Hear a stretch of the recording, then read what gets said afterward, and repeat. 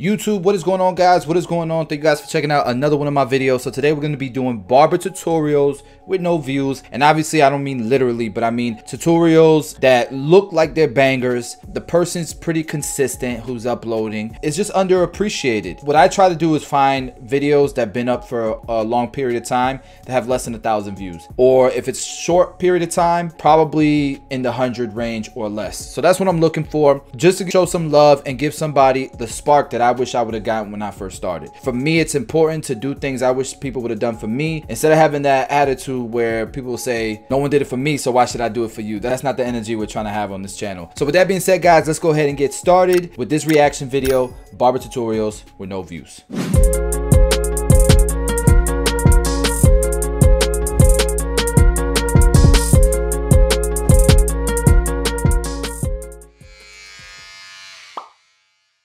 Right, guys. So this is the one that caught my attention. I'm scrolling down. I'm in the under a thousand range, and I see this one by Joey Blackwood. I've seen a couple of his videos uploaded, but this one really caught my attention. The hair texture is dope. He's gonna do the whole curl sponge thing, but the taper really stood out. And then the tattoo obviously caught my attention. I'm like, why he leave his uh ice picks like that? Ice picks is like the pointy sideburns. At least that's what we call them here. But yeah, let's go ahead and check this video out.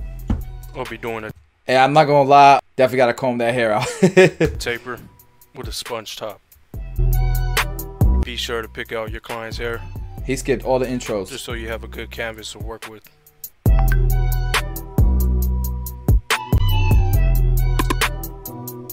It's a little yellow. The color's a little yellow. I thought that was just like Photoshop for the thumbnail. But not so it's a little yellow. I would mess with the white balance a little bit or the exposure a little bit. This haircut looks like it's gonna come out fire. Imagine if he got the color right. That's why I like my clients, man. Go ahead and comb your hair out before you come oh, in. now do a zero. Because I want to be able to spend more time on your hair than I do. I don't want to spend five minutes picking your hair out. Start the taper. I hope he keeps his hairline kind of natural. So you could still get a nice sharp line without bringing it up. We'll see what he does. Got that bald line on him. I like to line up before I start fading. I like that. Okay. Frame the cut, man. Frame the cut before you put the blend in. I definitely use that technique every once in a while. It's a great, great technique. Yeah, he's definitely keeping it a lot more natural. Keep your client's hairline as natural as possible. My guy. Okay, Joey.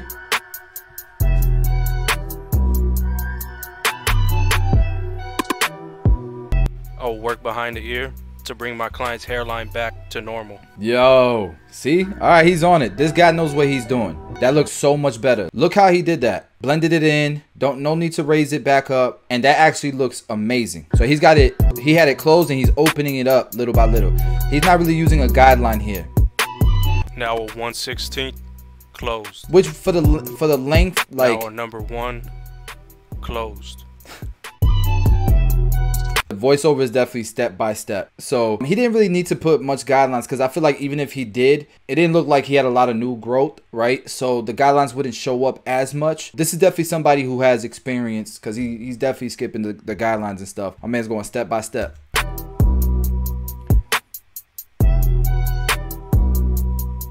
And now a number one and a half closed.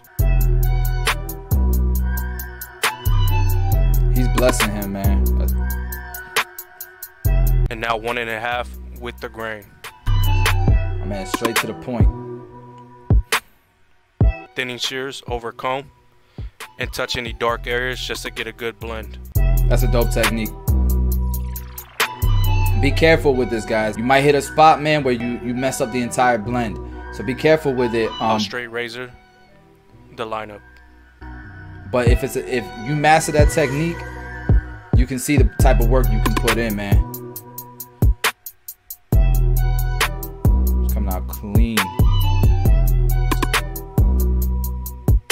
I don't know how people use big razors like that. Big razor handles like that. I feel like it's too bulky.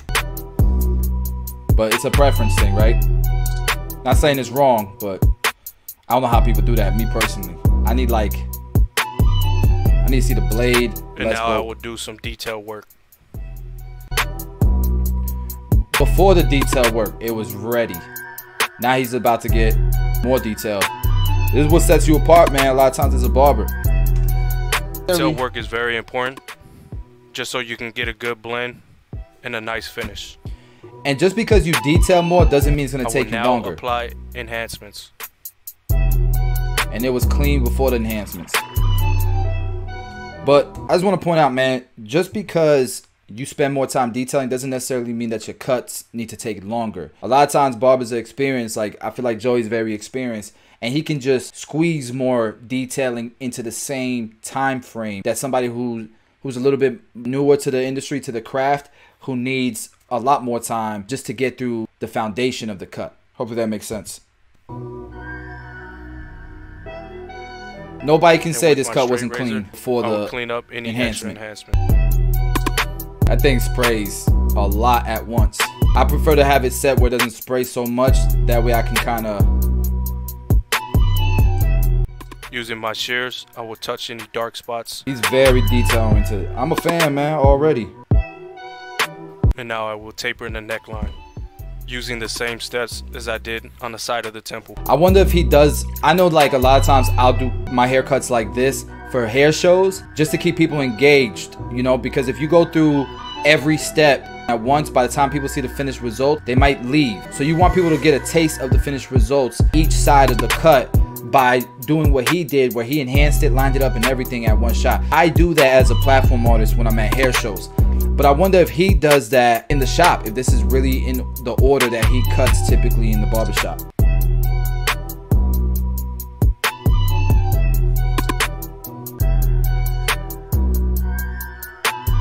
Man, that's coming out so clean.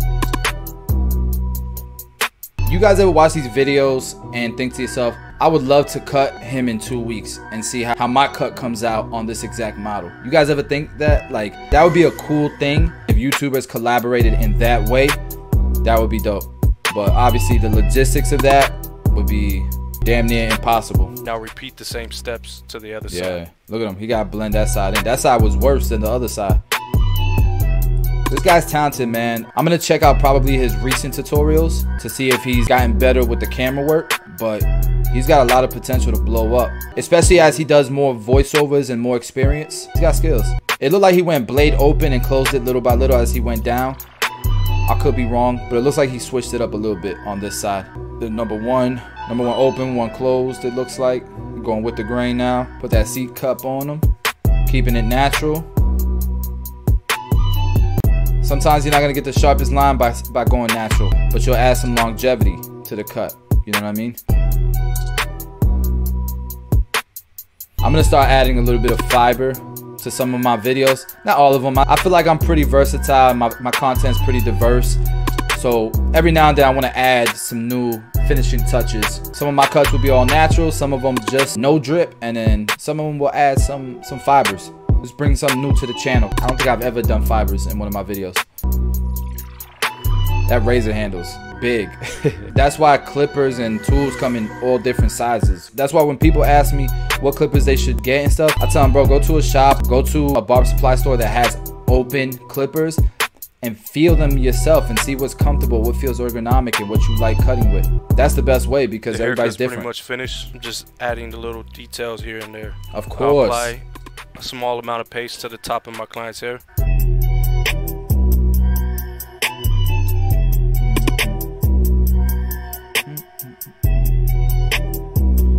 That is nice, bro. Lineup symmetrical, sharp, nice shape. Really came in clutch with the lineup right there uh, behind the ear. That's fire, bro. The enhancement looks a little shiny. You got to be careful what enhancements you're, you're using. Looks a little bit shiny. I know he did fibers, but I feel like maybe he could have put a little bit more fibers. And again, I'm not not knocking it. I haven't cut this guy's hair, so I don't know. His skin might take hair color a different way. But that's the only thing that I see besides this being a perfect cut. Taper with a sponge top. Fire. If you guys liked the video, be sure to subscribe, leave a comment, and hit the like button. very clean, bro. And you know what? I, I couldn't tell, but a lot of times if this was pushed back, and he's trying to keep it natural like he did behind the ears, there's nothing he could really do about that. It's going to look a little bit cosmetic where this side doesn't look so cosmetic. You know what I mean? It looks nice and full, doesn't look shiny, looks matte. I think that's probably what it was on this side. Look how symmetrical and clean this is. Amazing. Let's check out the comment section, man. He doesn't have a lot of views, but what hair length is this at? And he responded, half an inch. Oh no, he didn't respond, somebody else did. It's about a size 8. Dope. All right, let's check out his, his channel. I'm going to hit the subscribe button because I mess with it. He's got a lot of firework. The man is versatile. Look, he got a crappie, waves, dreads, that coarse straight hair. He got a realistic client, not the best canvas in the world, to be fair. I'm gonna show you guys something real quick. Yeah, quality done went up. Quality went way up. The beat is stupid. It's stupid. There go that big razor again. No offense. but that's a blurry cut. And look, look how he's doing this haircut. The back is not done. That's how he cuts. That is dope. And like what I was telling you guys, it's perfect if he wanted to be like a platform artist and cut at hair shows and stuff. Perfect to keep crowds engaged. Dope, bro. Dope content. Look at this. This is this is sad. Zero comments. Show some love, guys. Even if you put fire emojis or something. makes somebody who's a creator who puts something like this together, man. This they want to feel appreciated sometimes, man. So guys, that's Joey Blackwood. Link will be in the description below. If you guys want to subscribe to him, his content is the cuts of fire. The cuts of fire. He's versatile. And I would hate for him to stop uploading because he's not getting any results. Because we need more versatile barbers, I feel like, showing their techniques with different canvases and stuff. Yeah, guys, if you find value in the the videos that we just watched, please do go support. Guys, we drop daily content on my channel, so I will see you guys tomorrow.